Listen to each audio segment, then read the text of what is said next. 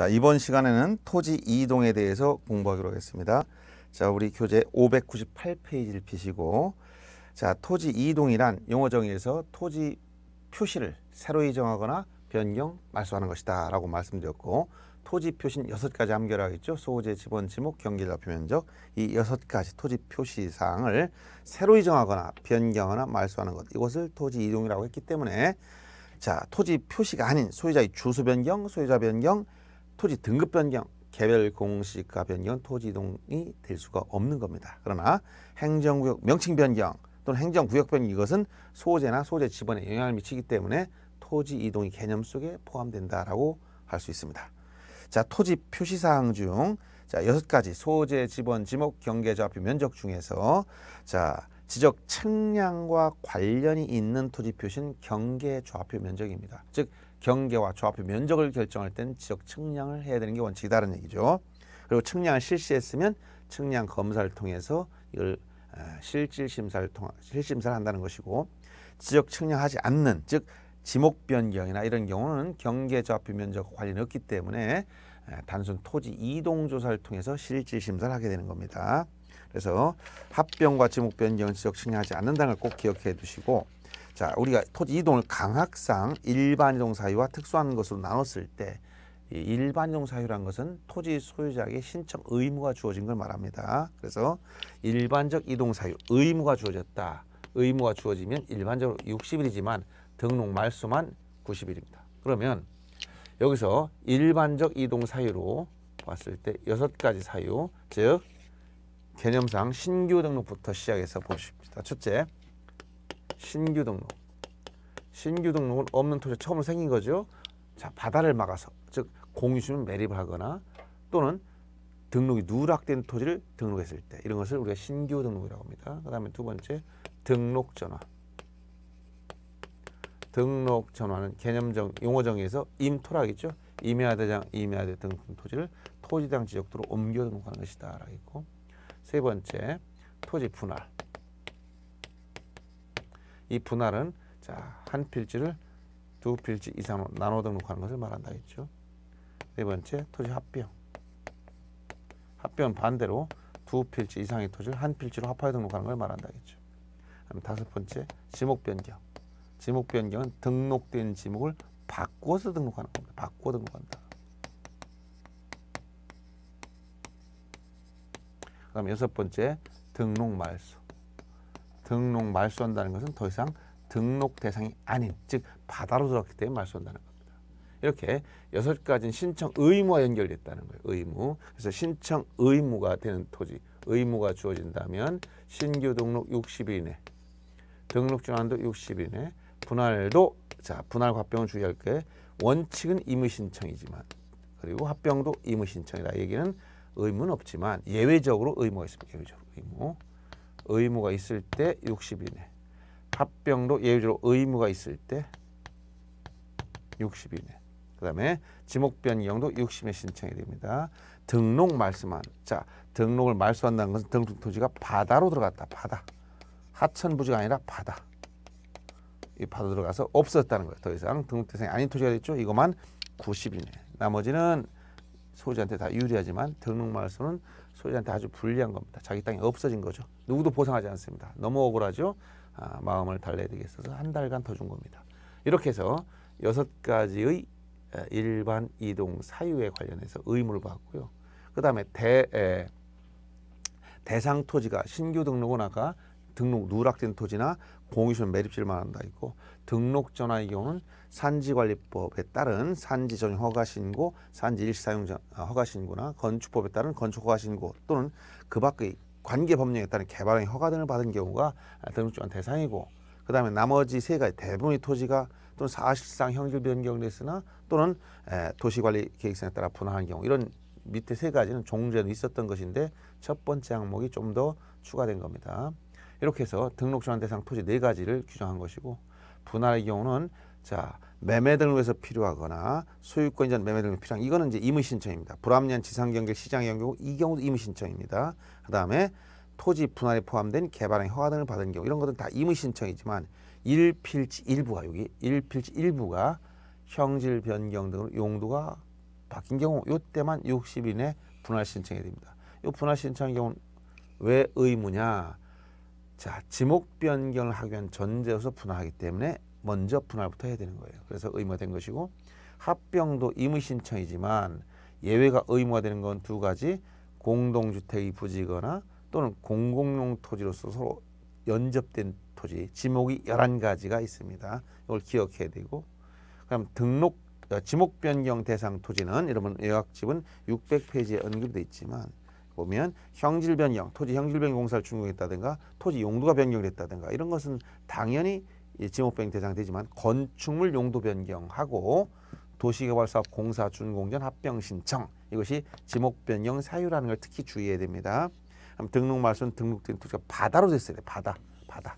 하천 부지가 되면 지목 변경만 하면 됩니다. 지목 변경 사유가 불가다 이런 얘기예요. 그래서 요 신청 기간 의무 문제 보고 그다음 지적 측량을 하느냐, 지적 측량 하느냐. 측량은 경계, 좌표, 면적 결정할 때 측량해야 된다 했죠. 신규용으로 반드시 해야 됩니다.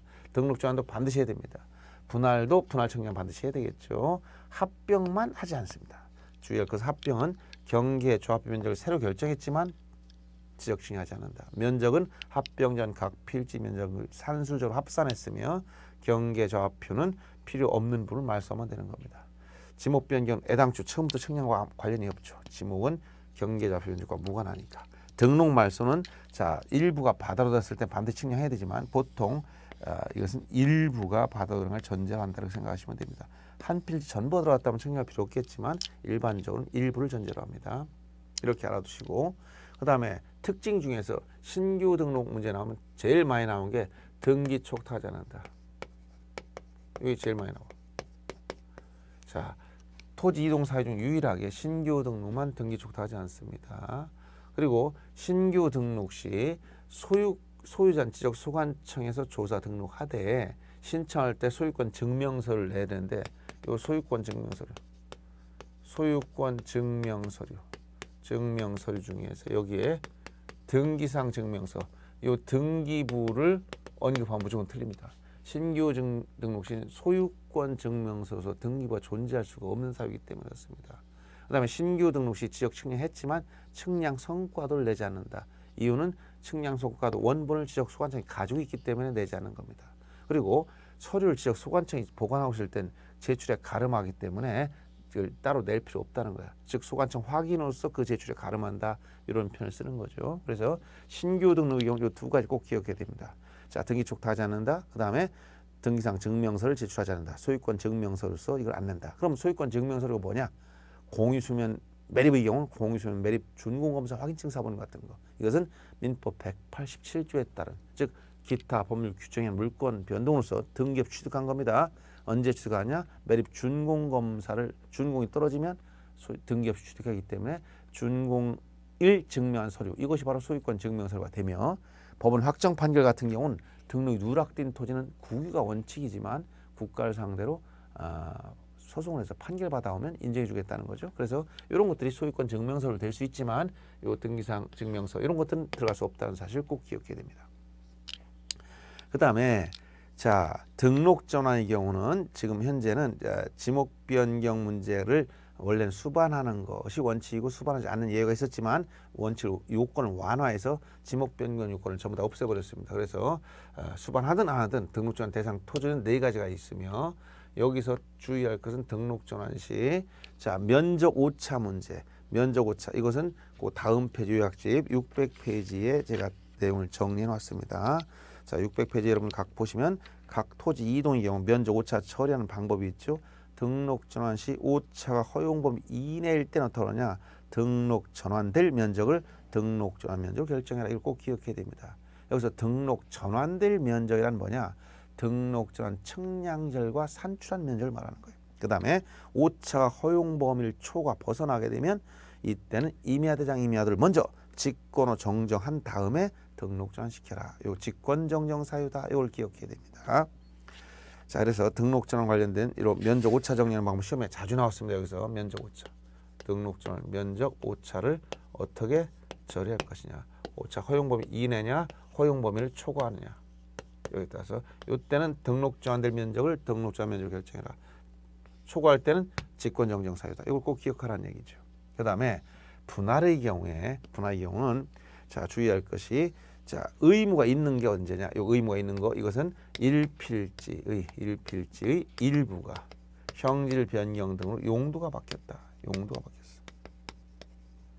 그러면 일필지 일부가 용도 바뀌었으면 이거 용도 변경 지목 변경 사유가 됩니다. 그러면 지목 변경에서 지목은 일필지 일지목 일필목 이 원칙상 한 필지당 하나밖에 줄 수 없죠. 따라서 요 일부를 전부로 바꿔야 돼. 그러려니까 분할을 해야 된다는 거예요. 그래서 이때 분할 신청을 의무로 하지만 이때 분할을 하는 이유는 바로 지목 변경하기가 온 거기 때문에 지목 변경도 지목 변경 신청서도 이걸 함께 내라 동시에 함께 내라 분할 신청과 변경 신청서를 함께 내라 요 내용을 좀 기억해 주시게 되고요. 그다음에 면적 오차도 면적 오차도 아, 이것도 방금 봤던 아, 여러분들 요약집 600페이지에 보면 분할 시 오차가 허용 범위 이내일 때는 어떻게 한다? 그 오차를 분할로 각 필지 면적에 따라 나눈다. 즉 면적 비율에 따라 면적이 넓은 토지는 많이, 면적이 적은 토지는 적게 배분해서 이걸 안 분한다는 표현을 쓴 겁니다. 오차를 분할로 각 필지 면적에 따라 나눠주면 된다 얘기고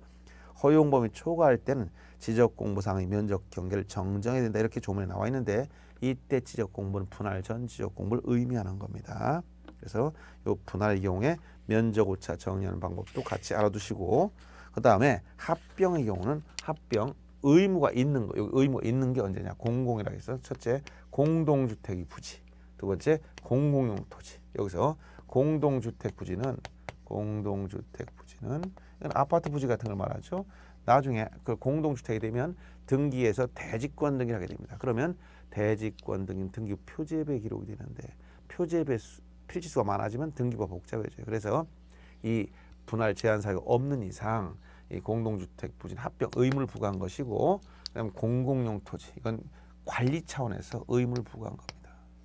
그래서 지목 11가지. 자 도로, 제방, 하천, 국어, 유지, 철도 용지, 수도 용지, 학교 용지, 공장 용지, 공원, 채용 용지. 이렇게 11개 지목. 그래서 도제하고요 도제하고요. 철수를 학자로 공채했다. 도제하고요 철수 학자 공채. 이렇게 그냥 기억할 수밖에 없습니다 자 이걸 14회 때처럼 다음 중 합병 의무가 있는 토지 지목으로 옳은 것 이렇게 골라라면 이걸 찾아내야 되겠죠. 그래서 열, 28개 지목 중 이렇게 11개 지목에 대해서는 합병 의무가 있다. 도를 건설을 하고 하는데 도로가 여러 필지야 그럼 관리가 골치 아프겠죠. 그래서 아, 관리 차원에서 합병 의무를 부과한 겁니다. 이렇게 합병 의무가 있는 걸 보시고 그 다음에 합병 합병의 제한 사유. 이 제한 사유를 또 알아야 돼 합병 제한 사유 그래서 합병 제한이라는 것은 자, 합병이 두 필지 이상의 토지를 한 필지로 합하에 등록한다겠죠 예를 들어서 이 두 필지 이상의 토지를 만약에 A, C 두 필지 합쳐라 그러면 여기 합병이 될 거. 지적 승인하지 않는다겠죠. 합병이 되면 집어는 선순위 집어이요 면적 합산 처리한다겠죠. 한술적 합산 처리. 이렇게 예를 들어서 그리고 경계 필요 없는 거 없애면 됩니다. 그럼 이렇게 여기 합병인데 합병 후에는 반드시 한 필지가 되니까 1필지 성립 요건 여섯 가지 갖춰야 돼. 집원 부여적 갖고 집안 연속 용도인 지목 갖고 도면의 축처이 갖고 소유자 갖고 등기부 같다. 이건 기본적으로 따라갑니다. 그 다음에 여기서 제한 사유 합병할 수 없다. 이 얘기는 일필 조건을 갖추지 못했거나 또는 권리관계 중에 합병이 되는 권리고 안 되는 권리가 있다는 거야. 그게 뭐냐?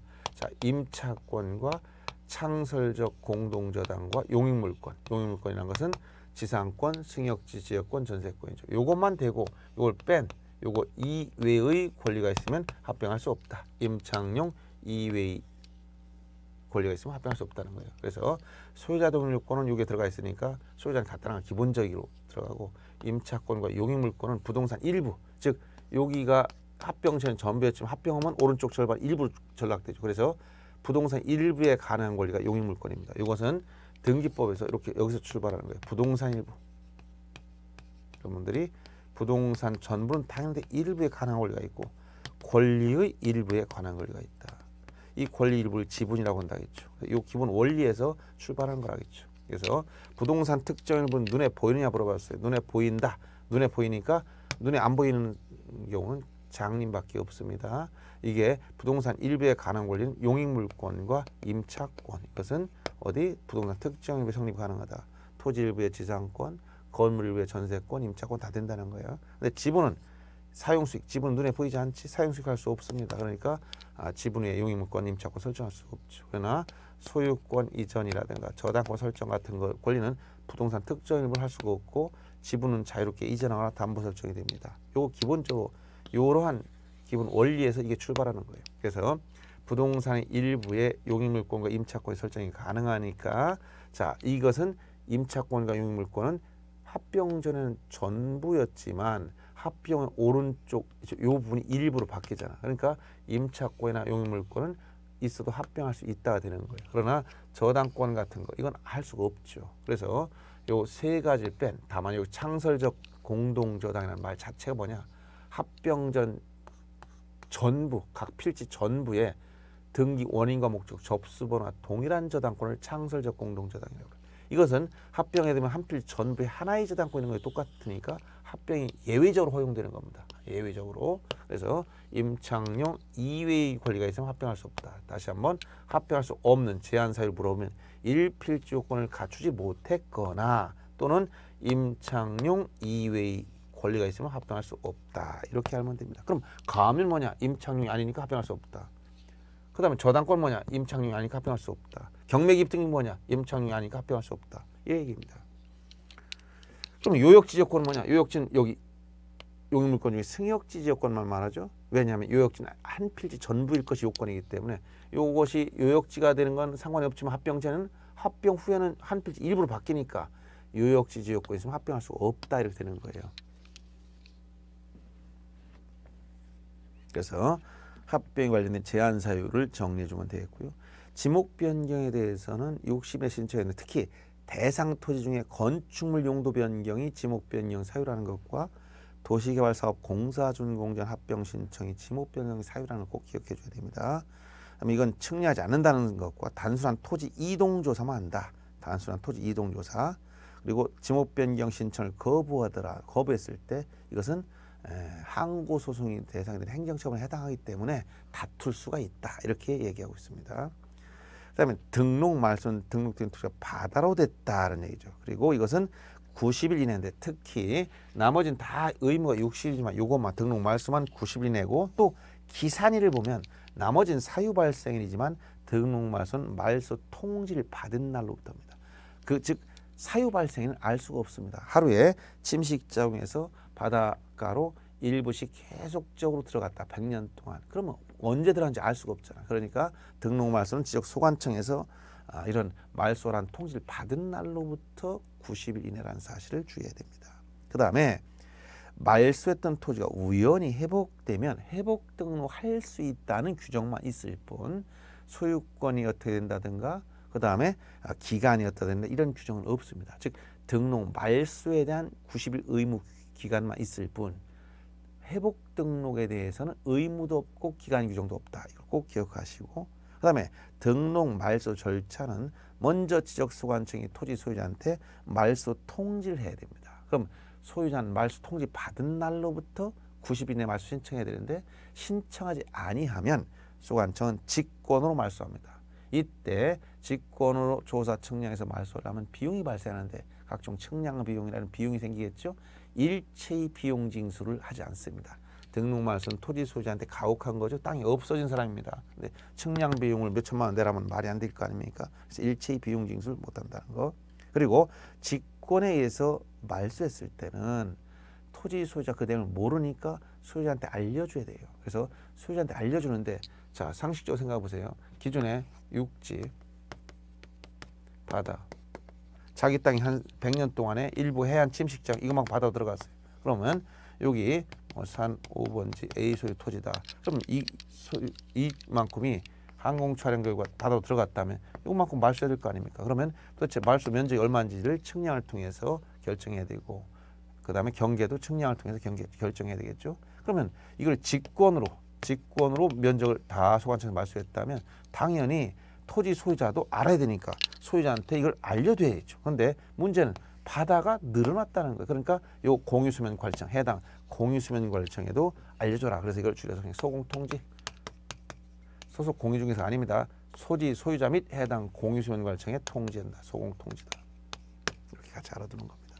그래서 절차는 먼저 소관청이 말소 통지하고 소유자가 고심에 신청하지 아니하면 직권에 의해서 말소해 버리고 정리 결과를 토지 소유자 및 해당 공유수면 관리청에 에, 통지하면 되겠다. 이것이 바로 등록 말소와 관련된 절차입니다.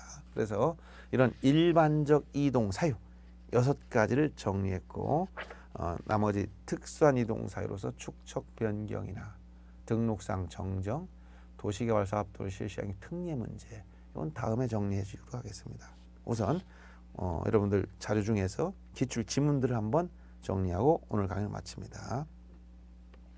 자, 토지 이동에 관련된 1번 질문. 다음 중 토지 이동 종목이 아닌 걸 찾아봐라.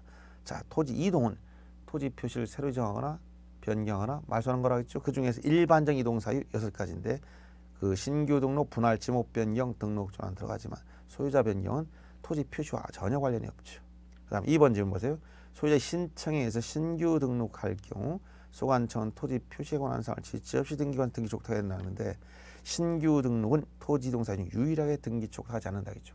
등기 촉탁의 개념은 토지 표시를 대장과 등기부와 일치시키기 목적으로 국가가 등기를 해주는 걸 우리가 등기 촉탁이라고 합니다. 그래서 등기 촉탁은 국가 국가를 위한 등기를 보기 때문에 등록면허를 납부하지 않는 거예요. 그래서 이 내용을 꼭 기억해야 되고 그 다음에 3번 지금 보시면 신규 등록할 신청할 때 신규 등록 신청할 때 첨부할 해당 서류가 아닌 것, 즉 소유권 증명서를 내라겠죠. 그중에 도시관리 계획도 사본 이것은 소유권 증명서류 아무 상관이 없습니다. 그다음에 4번 지적 공부에 신규 등록한 토지 소유자에 관한 사항 등기관서 등기한걸 증명하는 등기필증, 등기할 통지서, 등기상 증명서, 등기 전산정보 자료에 따라 정리한다 했는데 신규 등록 시는 등기부 자체가 없는 상태입니다. 예를 들어 A가 출생하면 출생신고를 주민등 등본을 첨부해 출생신고하라 이런 말과 똑같은 거예요. 말이 안 되는 소리 하고 있지 않습니까? 신규 등록할 때는 최초 토지를 등록하기 때문에 등기부 자체가 존재하지 않아요. 먼저 대장을 만들어야 되고 이 대장 등본을 첨부해서 등기법 65조에 따라서 아, 신청하면 어떻게 됩니까? 자 대장상 최초의 소유자 등록됐음을 증명한 자가 보조 등기 신청하게 돼 있기 때문에 대장 등본이 첨부되는 거예요. 그래야 등기부가 만들어지는 거예요. 이게 바로 소유권 보존 등기죠. 그래서 신규 등록 시는 등기부 자체가 없습니다. 그래서 등기부를 언급하는 즉시 다 틀리는 겁니다. 자, 5번 대부분의 토지가 등록 전환되어 자연 토지가 임야대장 등록 시 계속 존치할 필요가 없는 경우 지목 변경 없이 등록 전환 대상이 된다. 등록 전환 대상 토지 네 가지 중에 들어가 있습니다. 근데 지금은 지목 변경 문제는 요건 완화해서 지목 변경이 있든 없든 다 등록 전환으로 들어가 있습니다. 6번 보시면 등록 전환을 할 때 임야대행 면적과 등록 전환의 면적 차이가 허용 범위를 초과할 때, 자 면적이 허용 범위 이내일 때는 등록 전환될 면적을 등록 전환 면적으로 결정하라 했고 허용 범위를 초과할 때는 임야대장 임야도를 직권 정정 후 등록 전환시키라고 했던 그 면적 오차 정리 방법을 반드시 기억해 줘야 됩니다. 그 다음에 6번도 역시 마찬가지 등록 전환 시 면적 오차 허용 범위를 초과할 때는 직권 정정하라 했죠. 그다음 7번도 역시 등록 전환 시 면적이 허용범위 초과할 때 직권 정정하라 계속 나옵니다. 그다음에 8번도 등록 전환 시 면적 오차 허용범위 이내일 때는 어떻게 하겠냐? 임야대적 면적을 등록 전환 면적으로 결정하는 것이 아니라 등록 전환될 면적 이 등록 전환될 면적이라 함은 등록 전환 측량 결과 산출한 면적을 말합니다. 그 다음에 9번 지금 보세요. 임야 소유자가 건축물 사용 승인 받은 후 지목 변경을 수반한 등록 전환 실시에서는 반드시 지역 측량을 해야 된다. 자, 등록 전환 지목 변경과 무관하게 반드시 측량하는 거예요. 지목 변경이 되든 안 되든 무조건 합니다. 그래서 어, 요 내용은 맞는 얘기고요.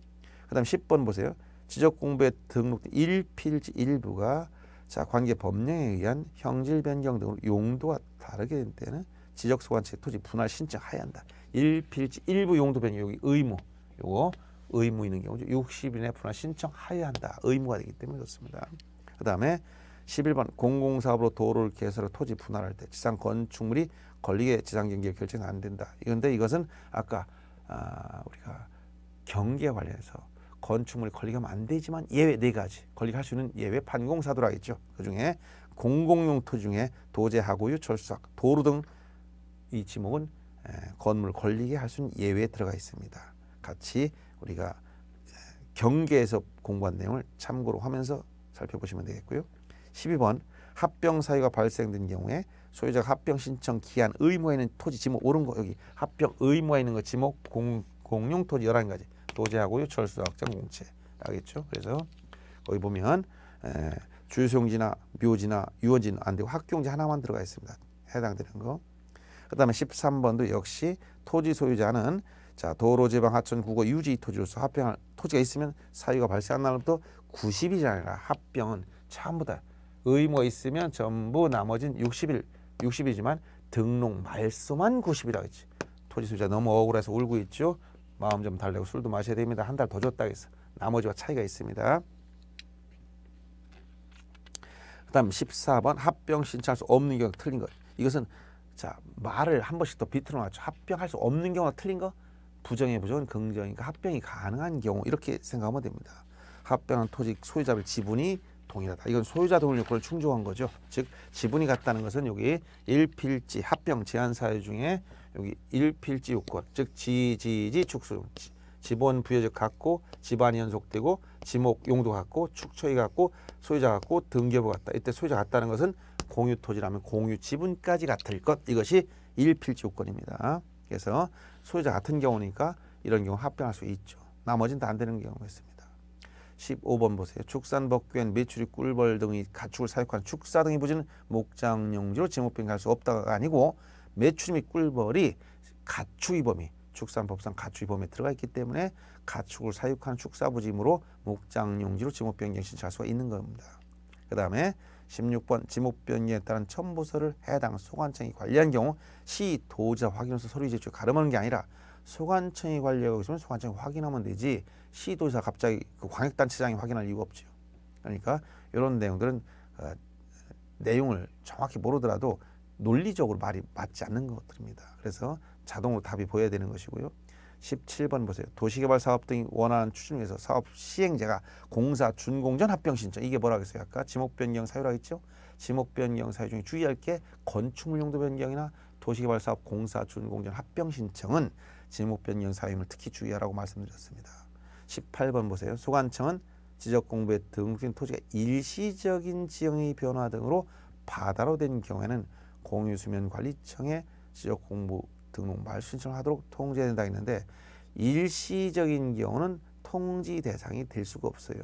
이것은 다시 육지로 돌아올 수 없을 때 원상 회복할 수 없을 때 말소하는 것이고 자 공유수면 관리청에 통지하는 것이 아니라 소유자에게 말소할 수 토지 소유자한테 말소 신청하도록 통지하는 것이죠. 그래서 일시적인 사유 이거 틀렸고 공유수면 관리청에 통지한다는 것도 틀렸습니다.